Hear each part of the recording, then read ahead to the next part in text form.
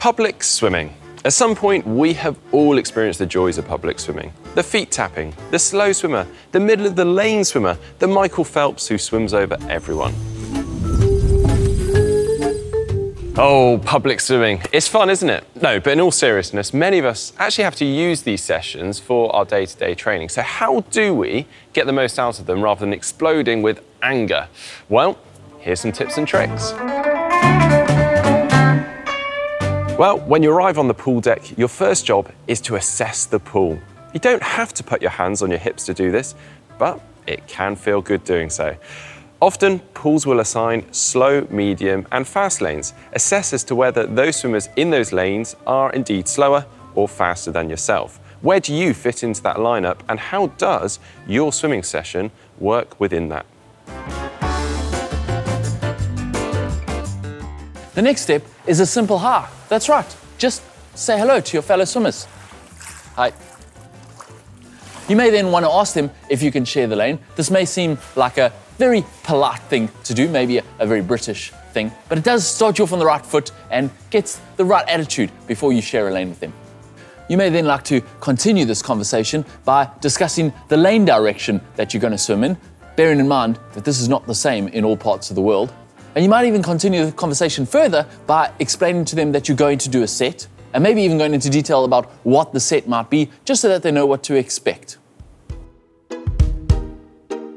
Okay, that's the niceties aside. Let's get swimming.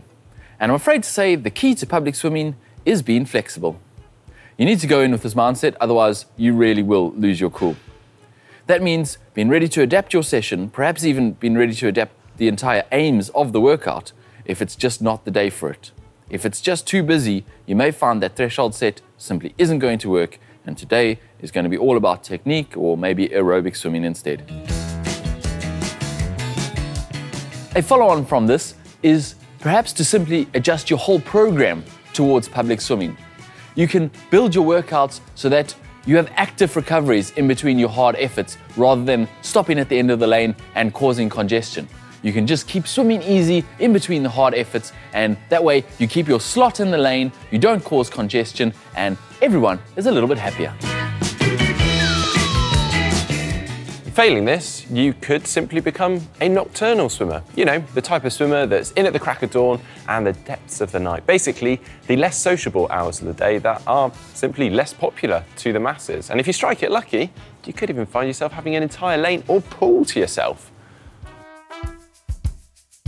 As mentioned already, most pools will have dedicated lanes for different speeds.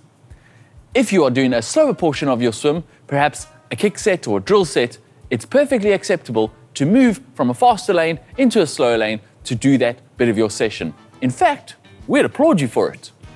Also, if you are in the fast lane and someone faster than you gets in and joins you, it's okay for you to bump down a lane. This may be a slightly unpopular opinion if you were there first, but the faster swimmer does pr take priority in the fast lane. This doesn't mean they can be a d- about it. They still have to be respectful and wait for you to move over and pass with plenty of room, but it is their right of way. All right, I'm sure nobody means to, but it isn't uncommon for your swimming kit, your swimming toys, training aids to go walkies whilst you're swimming. Now, admittedly, a lot of this kit does look quite similar to one another, so people can be excused for making these mistakes. But it doesn't make it any less annoying when you do go to grab your pull buoy and it's gone. So, now may be the time to grab your Sharpie and write your initials or your name onto your kit so that people can't make those mistakes. Mate, what are you doing? Those are my fins. These are yours. Oh. What have you written on it? Sorry, mate. Actually, these are a better size. Oh, thanks. no way.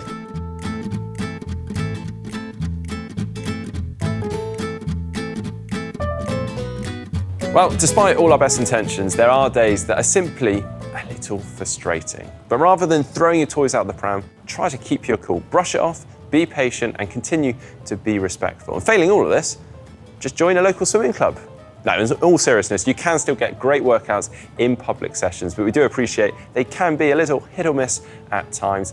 Well, I hope today's video has armed you with some tips and tricks for public swimming. If you've got any other tips, then please drop them in the comment section down below. And don't forget to give this video a thumbs up, give it a like, and subscribe down below.